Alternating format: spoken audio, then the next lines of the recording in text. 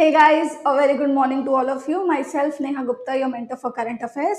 I hope that you all are doing fine and this video is going to help you in your preparation and keeping yourself more fine. Okay, so let's begin this video. But before that, if you are a newcomer here, then do not forget to subscribe our channel. And the information for you is that you can get the PDF of our session and the PDF is provided on the Telegram group. So the link is in description below. If you want the PDF, go and join the Telegram channel. Okay, but before that, watch this video first. Okay, completely. So here we have the first question. What is the focus of 2021 G20 Rome Summit? So here the right answer is option D, planet, people, planet and prosperity. So this is basically the theme of this 2021 G20 Summit, which is going to take place on October 30 to 31. Yes, it has not taken place yet. So this is the date. 16th is the edition. Last year the edition was 15th and the presidency was hosted by Saudi Arabia. 17th edition will be hosted by Indonesia. 18th will be hosted by India. 19th will be hosted by Brazil. Okay, so this is the list of countries that are going to host the G20 summit in the coming years till 2024. Now you have to memorize the G20 edition of India very thoroughly because this is something that can be asked from you in your examination. Also the editions that are being hosted by the other countries are also very important. Okay, so do memorize the editions but India wala is very important. Okay. Now, three pillars, people, planet and prosperity. So this is the theme. This G20 Urban 20 Summit. So guys, this summit will take place in the month of October. However, the dates are not confirmed yet. Therefore, we only know that this summit is going to take place before the G20 official summit. Okay. Now, this was the list of the upcoming summits we have a list of the summits that have taken place in this month. So let's have a look at the summits of G20 at the ministerial level meetings of the G20. The very first meeting was the third meeting of the G20 Anti-Corruption Working Group. Here, the high-level principle on preventing and combating corruption in emergencies, accountability report and action plan all of these three documents were adopted by the G20 leaders. 13th annual international G20 conference. So it was hosted by Indian Council for Research on International Economic Relations, Asian Development Bank Institute and the partner organizations. There were other partner organizations as well. Now the major focus of this meeting was to discuss the challenges that India might face when it is going to held uh, it is going to host the presidency of G20. Okay, so the major focus to discuss the challenges of India that it has when it is going to uh, host the presidency of G20. Next meeting is second G20 dialogue on water. So this took place in the month of September towards the end. Okay. Now the focus of this meeting was sustainable water management cross sectoral and integrated approach. Now this was opened, this Second G20 dialogue on water was opened by Troika environment ministers of Italy, Indonesia and Saudi Arabia. What is Troika? Troika is basically a term given to the countries which have held the G20 presidency consecutively along with the present uh, president. Okay, for example, Saudi Arabia, Italy and Indonesia. So 2020 2021, 2022. So these three countries make up the current G20 Troika. If we take the example of 2022 in the next year, then Italy, Indonesia and India. All these three countries will make the G20 Troika. So basically the country that has held the presidency immediately before the current president and the country that is going to host the presidency immediately after the current president makes up the G20 Troika. I hope that this term is clear to you.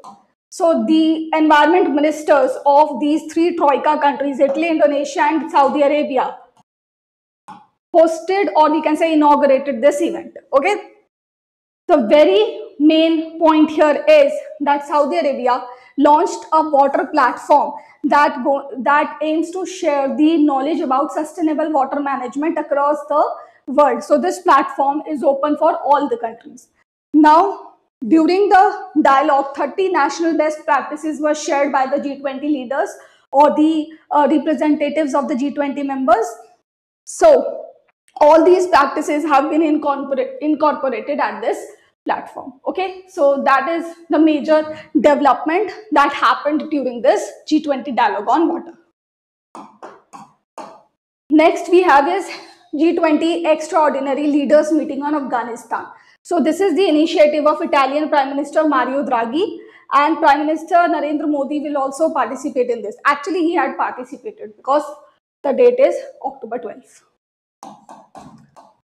This is the G20 ministerial meeting on trade, which is a very important meeting, guys, because it talks about the reforms in WTO, World Trade Organization. Many countries were uh, pledging for the reforms in the World Trade Organization because nowadays the judiciary is not very effective. The dispute resolve uh, resolution mechanism of WTO is not very effective and we need reforms.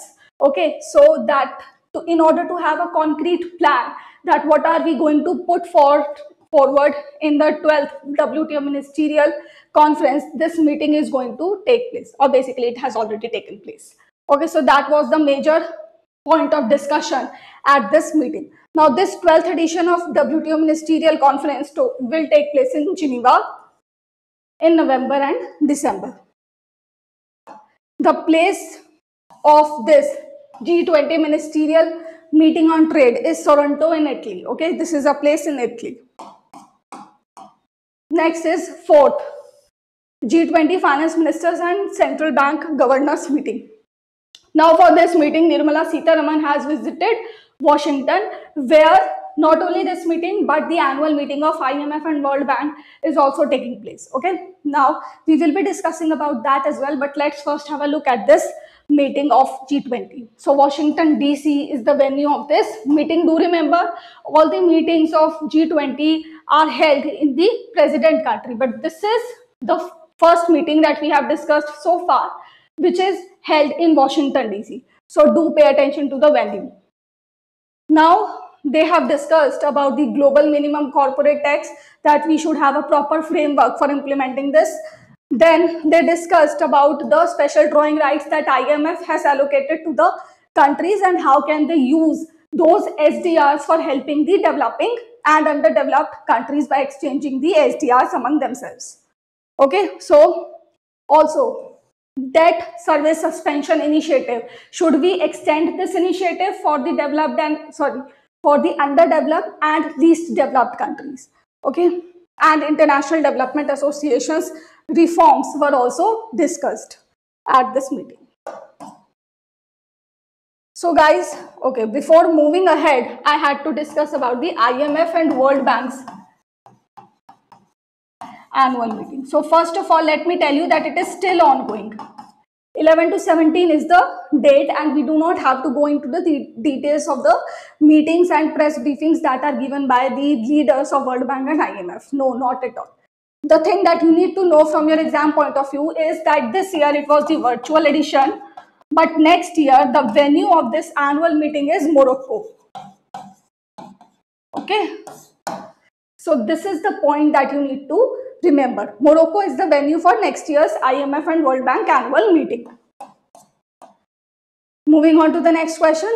What is the maximum limit of board members that can be appointed in the National Road Safety Board? So the right answer here is 7.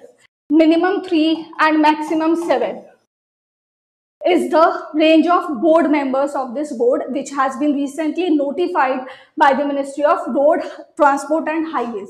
Now what is the purpose? The purpose is basically to enlighten the stakeholders about the road safety and improve the infrastructure so that road safety can be maintained and accidents can be minimized. So that is the purpose of this National Road Safety Board. It will have a chairman. The strength of board should not be less than 3 and not more than 7. The head office will be in the national capital region. Do remember this thing. but it can establish offices at other places. Now guys, do remember it is talking about the board members that maximum board members can be seven. Staff has no limit, okay? Because if we are opening the offices in different locations, then obviously we need staff to run that uh, office. But the board remains limited. The board is the top decision making body in any organization. So the board member or the strength is limited from 3 to 7. Okay. But these offices will be run by the staff members.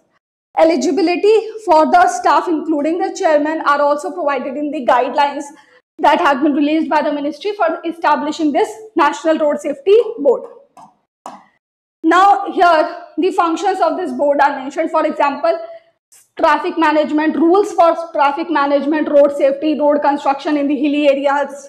So these standard, standard guidelines will be provided by this board. Skill development of traffic police, hospital authorities, highway authorities and others. Okay, so this will be the work. These are the areas for which standard guidelines will be prepared by this board. Okay? Next point is that it will promote good Samaritans, good practices in road safety and traffic management and new vehicle technology in the field of vehicular engineering. Now guys, what is Good Samaritans? Recently, the Ministry of Road uh, Transport and Highways has launched a scheme called Good Samaritans in order to encourage the people so that they can save the lives of road accident victims. Okay. Now pay attention to the words, keywords that I am writing here.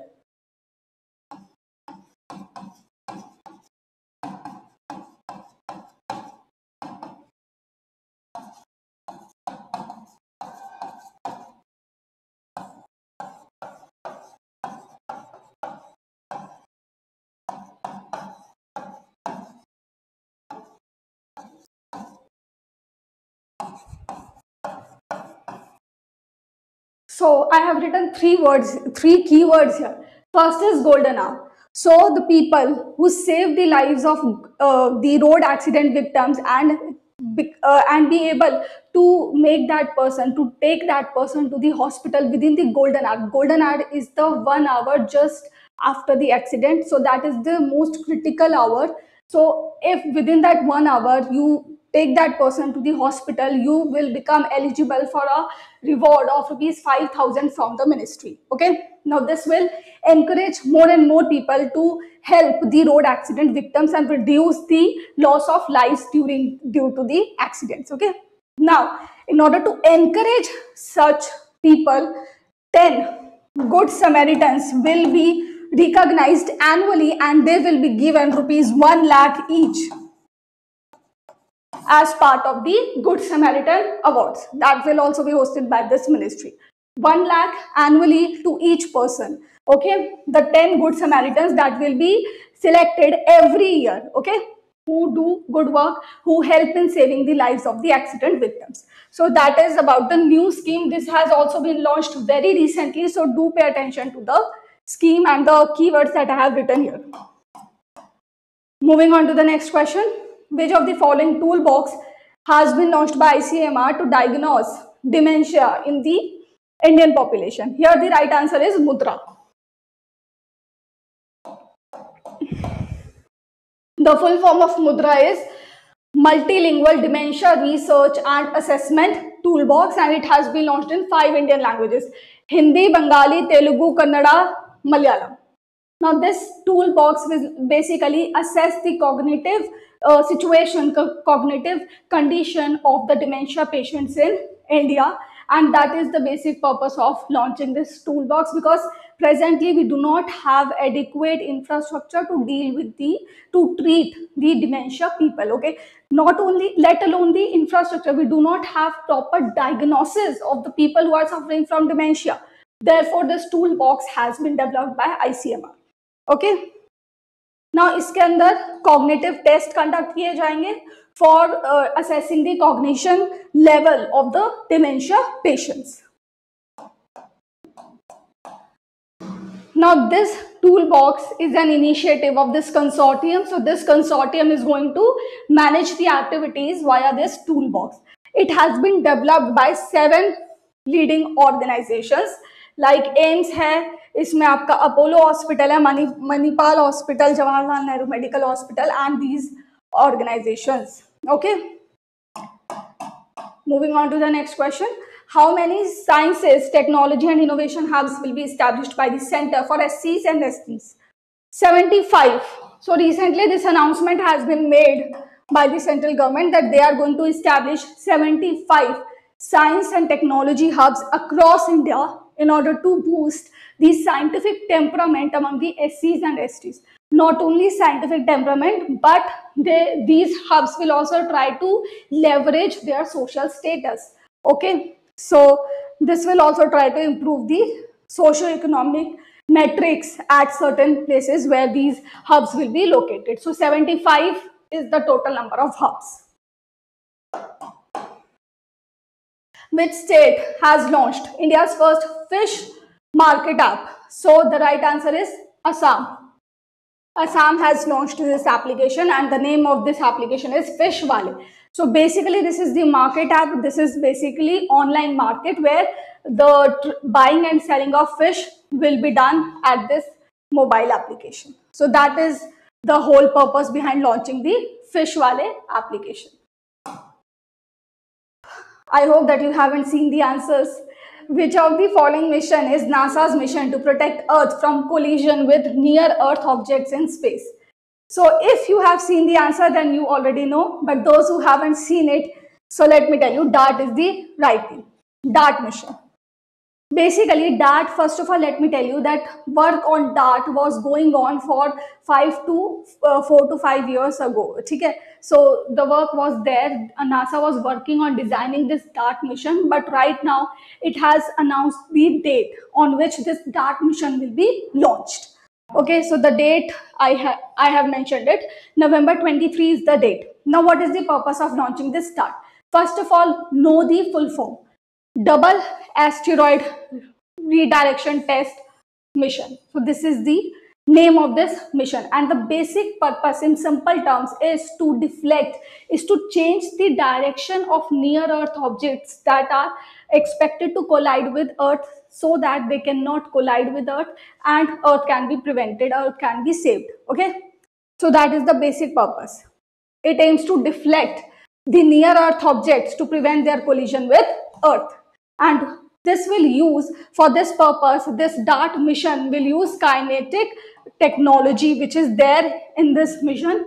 And by using that technology it will change the direction of the near earth objects like asteroids or meteors. So it will change the direction of those objects so that they cannot collide with earth. Okay kinetic impactor technique is the name of the technique. So if you can then do remember. Next is it will have a rollout sol solar array, arrays. Rosa this is the name of this technology. That is basically the battery of this mission okay so it is the solar power. It is the engine that will supply the solar power needed for the darts electric propulsion system and the spacecraft has been developed by Johns Hopkins Applied Physics Laboratory. I forgot to tell you that it will be launched on this rocket from this space station. Do remember the name of the space station and the location where is it located. World's first vaccine has been developed by which organization? The right answer is GlaxoSmithKline. So this is a British company that has developed the first malaria vaccine. Malaria is a very dangerous disease in Africa, okay? More than 4 lakh people die in Africa because of malaria. Uh, till now, we had the vaccines to uh, the medicines to treat the malaria but this is the vaccine that will prevent malaria from happening so this is the first time that the vaccine has been developed for malaria the name is mosquirix and this is the scientific name okay so guys, that was all for today. Thank you so much for watching the today's video. If you liked it, then do share it and share, uh, do like this video.